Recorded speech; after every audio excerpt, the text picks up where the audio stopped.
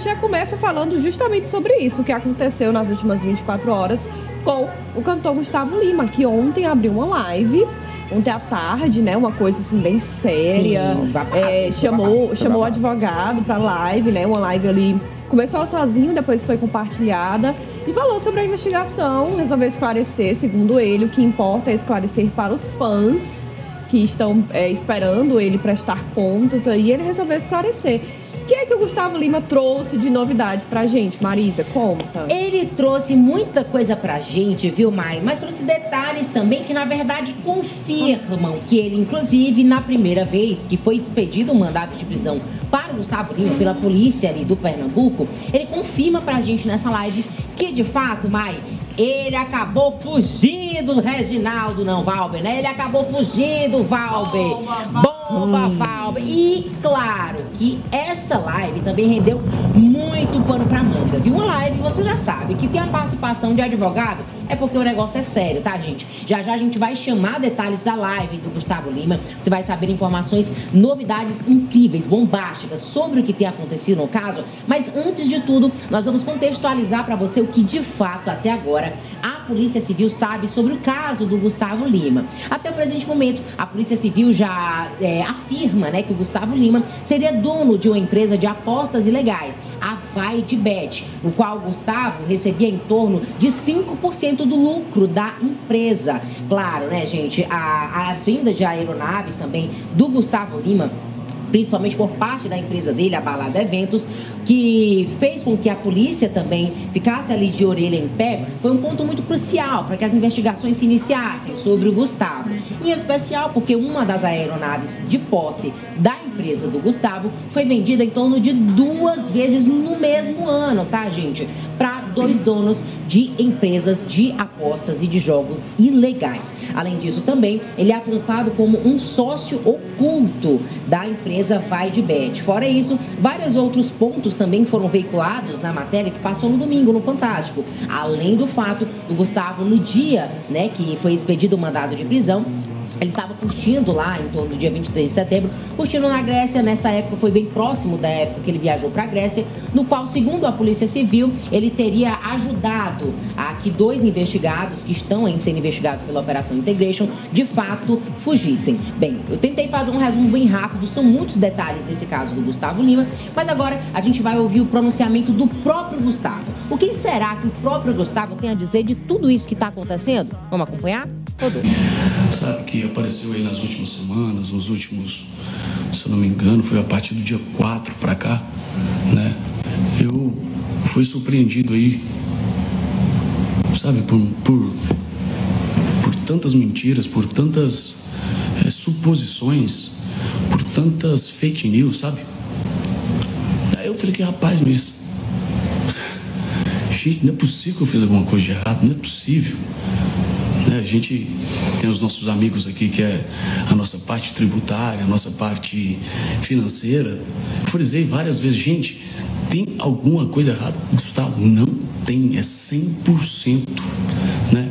Então, assim, por um lado, eu estou muito tranquilo, de verdade, porque eu acredito na justiça do Brasil, acredito na, na justiça do Pernambuco. E eu tenho certeza que isso vai, se, isso vai acabar o mais rápido possível, o mais breve possível. Né? Eu queria aqui, eu queria aqui é, frisar alguns pontos das coisas que foram, foram mencionadas pelas reportagens, pela mídia, por tanta coisa que, que, que foi é, noticiada.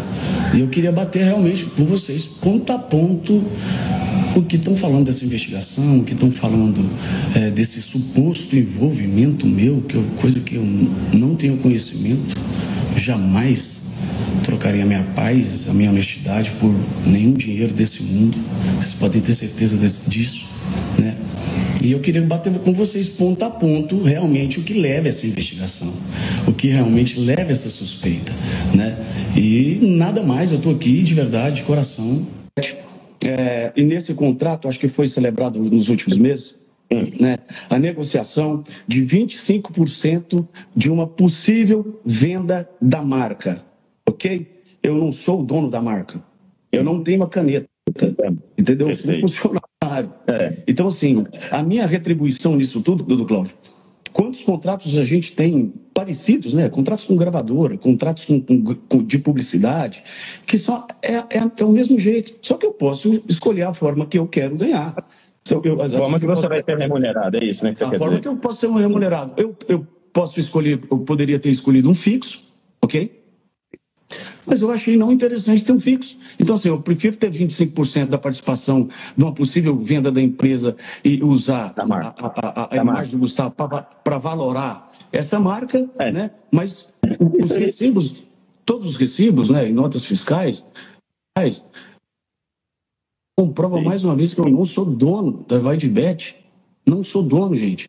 É só um eu fiz um contrato de publicidade onde numa possível venda eu teria 25% Esse documento, Gustavo, esse documento que você se refere aí, ele foi datado, ele está datado dia 1 de julho de 2024.